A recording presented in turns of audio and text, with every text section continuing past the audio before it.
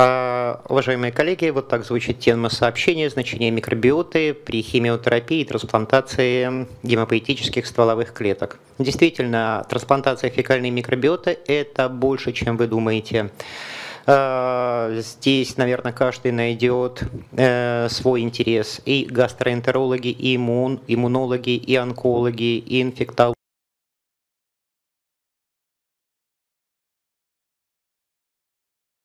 большая область. Поэтому на, эту, э, на этот предмет можно посмотреть и глаза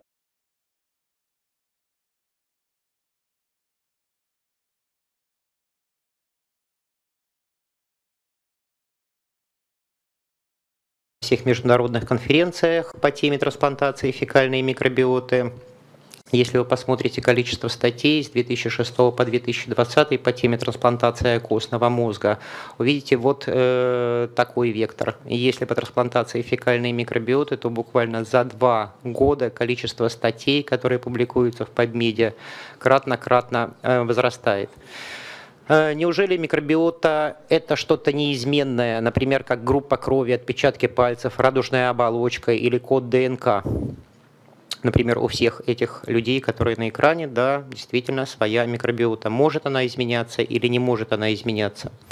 Мы провели исследование, которое, результаты которого опубликованы в английском журнале «Микробиология». Э, провели трансплантацию фекальной микробиоты трем здоровым волонтерам от здорового донора. И что же мы увидели? Полное приживление на протяжении года. Через год мы делали последние анализы. Мы видели приживление фекальной донорской микробиоты. Кроме того, отмечали и иммунологические сдвиги. Э, здесь на слайдах представлены результаты иммунофенотипирования. Изменяются субпопуляции, изменяется количество лейкоцитов, изменяется количество нейтрофилов в химиотерапии. Посмотрите, это пример одного пациента. Проводим один блок химиотерапии, меняется микробиота. Вторую фазу химиотерапии меняется микробиота. Назначаем одни антибиотики, меняется микробиота. Другие антибиотики по-другому меняется, соответственно, фекальная микробиота. А, какие микробы хорошие, какие микробы плохие?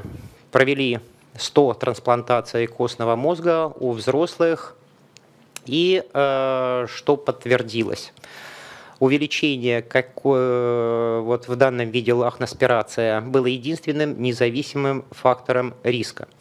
То есть э, потеря при трансплантации происходит и антибактериальной терапии, потеря разнообразия, уменьшение бактероидов, увеличение фермикутов, и происходят так называемые экстремальные сдвиги в кишечной микробиоте. Более того, на сегодня уже известно, какие микробы хорошие, какие плохие. Э, хорошие микробы, которые исчезают после всей проведенной терапии, это э, представители бактероидов.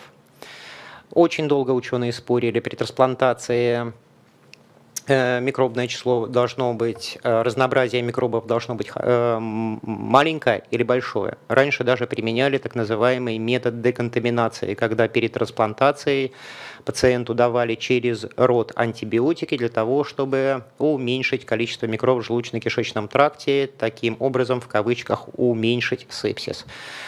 На трех континентах, четыре центра, почти 9 тысяч образцов стула, 1362 э, пациента исследовано. И, наконец, после таких э, массовых исследований можно, наконец-таки, сказать, что чем больше разнообразия на момент трансплантации э, фекальной микробиоте, тем меньше летальность, тем меньше осложнений, тем меньше летальность не только за счет инфекционных осложнений, но и меньше летальность за счет рецидивов, за счет РТПХ. Вот так выглядит смена микробиоты. Донорская микробиота представлена, э, пациент, и вот такая вот смена микробиота происходит. Э, что происходит при смене микробиот, микробиоты? Меняется метаболизм. В данном случае представлены жирные кислоты. А, как решиться на первую трансплантацию фекальной микробиоты? Впервые мы процедуру провели в сентябре 2015 года, опубликовали первый опыт терапии полирезистентных инфекций методом трансплантации фекальной микробиоты. Действительно, девочка с РТПХ а, в течение 900 дней получала терапию э, по поводу РТПХ и тенерцептом, ироксолитинибом, мемзенхимальными клетками, фотоферезом, бифидумбактерином, примадофилем, пробиотики всевозможные. Провели трансплантацию фекальной микробиоты, результат увидели через неделю. Э, вдохновленные этим опытом у нас э, ведутся несколько исследований. Все исследования одобрены этическим комитетом. Как можно посмотреть, какая микробиота? Конечно же, культуральные методы, количественные методы ПЦР, секвенирование, исследование метаболома. Дизайн нашего исследования выглядит таким образом. Трансплантация костного мозга, возникает энтеропатия. При подтверждении РТПХ э, проводится традиционная терапия. И одна группа получает э, трансплантацию фекальной микробиоты, 19 пациентов, и 8 пациентов получают плацебо. Это точки исследования до 120 дня после ТФМ мы вели пациентов и исследовали характеристика пациентов, и уже можно почитать будет через месяц, наверное, в журнале «Терапевтический архив» выйдут результаты этих исследований. А, что можно сказать по клиническим ответам и времени возникновения ответа? В группе ТФМ полный ответ возник у 16 пациентов, 84%, в группе плацебо 63%, э, в группе ТФМ частичный ответ 95% и 63% в группе плацебо. Кроме того, а, если посмотреть по кумулятивной частоте полного ответа, и по оценке времени достижения все ответы, э, клинические ответы после трансплантации фекальной микробиоты э, возникали по времени раньше. То же самое, э, вот это э, ответы по РТПХ. Ответ по РТПХ – это стул менее, полный ответ. Стул менее 500 мл, нет э, боли, нет пареза, нет крови. Мы немножко ужесточили критерии, еще ввели и бристольскую шкалу, шкалу консистенции стула. В этом случае ответы таким образом распределились. В группе ТФМ полностью ответили 47%, частичный ответ 47%, фактически 50 на 50. Но в группе плацебо полный ответ был зарегистрирован лишь у одного пациента. То есть по РТПХ он ответил, по РТПХ плюс Бристольская шкала фактически ответил только один пациент. Клинический ответ как выглядел? А, объем стула, э, если брать две группы, просто ТФМ и плацебо, объем стула значительно сократился, кратность стула, э, характеристика стула по Бристольской шкале, а, анорексия, боли в животе, если добавить сюда еще и бристольскую шкалу, то мы увидим уже три группы. Это полный ответ, частичный ответ и плацебо. Здесь, соответственно, вся, все результаты представлены на графиках. Как же э, можно посмотреть динамику микробиота? Это результаты э, ПЦР отдельных групп бактерий. Посмотрите, пожалуйста, как изменяется Э, общая бактериальная масса, это ТФМ, и рядом, соответственно, это первая, э, первая табличка и плацебо. На втором слайде, соответственно, э, самый характерный представитель фекальной микробиоты – группа бактероидов. Быстрее изменяется динамика после трансплантации фекальной микробиоты, и, соответственно, по, и так можно, соответственно, проследить каждую группу. То же самое можно сказать по трем группам. Трансплантация фекальной микробиоты – полный ответ, частичный ответ и плацебо. Если все вот эти данные, математические данные, перерисовать вот на такую схему, то что у нас получается?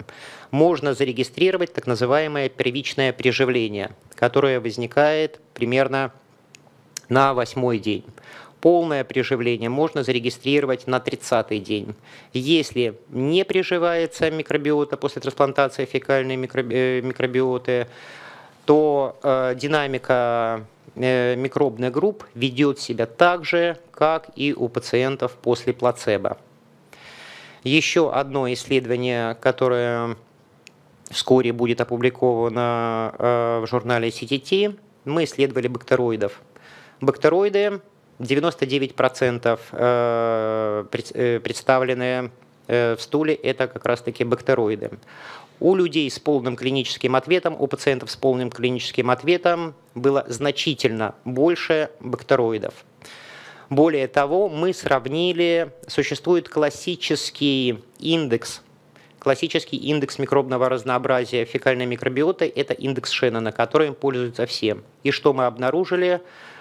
Что индекс Шеннона, который э, вычисляется математически после 16 секвенирования фекальной микробиоты, полностью коррелирует с э, уровнем э, бактероидов фрагилис, которые мы определяем по ПЦР. Это фактически уникальное такое наше изобретение, и более того, одобрено Роспатентом решение о выдаче патента в связи с этим изобретением скоро мы должны получить. Нежелательные явления после ТФМ и плацебо. А, гораздо лучше ответ после ТФМ по тошноте, по болям в животе. И самое главное, у этих пациентов после ТФМ меньше развивается э, парез кишечника. Вот так выглядит э, фекальная микробиота у здоровых людей. Это доноры, волонтеры. Посмотрите, пожалуйста, серый фон, представители анаэробов, представители бактероидов. А вот так выглядит э, фекальная микробиота у наших пациентов перед трансплантацией фекальной микробиоты. В основном фермикуты, энтерококи, лактобактерии, стриптококи. На 30-й день фекальная микробиота смещается, соответственно, видите, она в сторону бактероидов, в сторону анаэробов, в сторону темных тонов. На 120-й день вообще красивая картинка, почти как здоровые доноры. Э, более того, э, мы нашли, какие микробы хорошие, какие микробы плохие. Посмотрите, пожалуйста, э, представители Блаутия. Это замечательные бактерии. Когда развивается РТПХ, Блаутия исчезает. Когда развивается РТПХ, бактероиды исчезают. Фекалибактериум проузница, соответственно, такая же картинка. И, наверное, при РТПХ не очень хорошие микробы. Это лактобактерии, энтерококи, клепсиелы. Более того, мы пошли дальше и исследовали метаболизм. Что происходит при РТПХ? Увеличиваются первичные желчные кислоты момент развития РТПХ, в момент снижения микробного числа. Уменьшаются вторичные желчные кислоты, которые как раз-таки образуются под действием кишечной микробиоты. Э, полиненасыщенные жирные кислоты также увеличиваются. И следующее звено, которое нужно исследовать, это, конечно же, иммунология.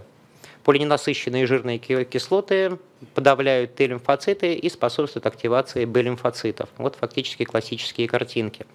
Пробиотики. Хорошо или плохо?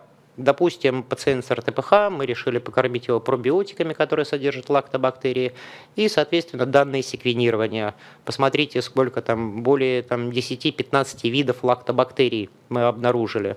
Разумеется, ни о каком лечении РТПХ с использованием вот таких пробиотиков и речи быть не может. Применение в химиотерапии и трансплантации фекальной микробиоты После применения таргетной терапии, ретуксимаба, неволумаба, мы э, видели таких пациентов, которые очень долго после такой таргетной терапии э, сохраняются явления колита. Пациент с лимфомой получал ретуксимаб, После терапии 2 года стул до 20 раз в сутки. Терапия с сульфасалазином, метронидозолом, ванкомицином фактически без перерыва, без эффекта. Провели трансплантацию фекальной микробиоты, посмотрите на микробов, каких стало больше, каких стало меньше.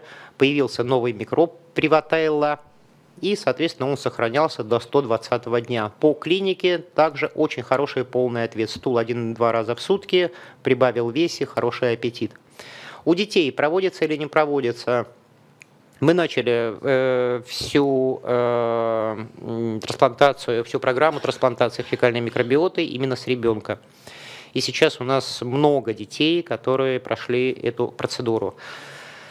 Э, что лучше, ФГДС или прием капсул? Без сомнения, э, лучше прием капсул, больше плюсов, нет наркоза, нет инвазивной методики, э, исключена аспирация, микроаспирация. И этого веса капсул, этого микробного числа абсолютно хватает для приживления микробиоты. Трансплантация фекальной микробиоты в реанимации. Вон, посмотрите, пожалуйста, на фотографию. Девочка на горшке с плазмоферезом, с зондом и, соответственно, одновременно получает трансплантацию фекальной микробиоты. Еще одно из направлений – это деколонизация. Деколонизация, э, то есть применение трансплантации фекальной микробиоты в инфектологии.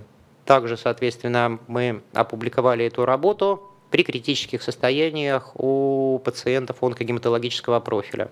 И вот так выглядит пару слайдов по деколонизации. Клепсиела, различные виды, провели трансплантацию фекальной микробиоты.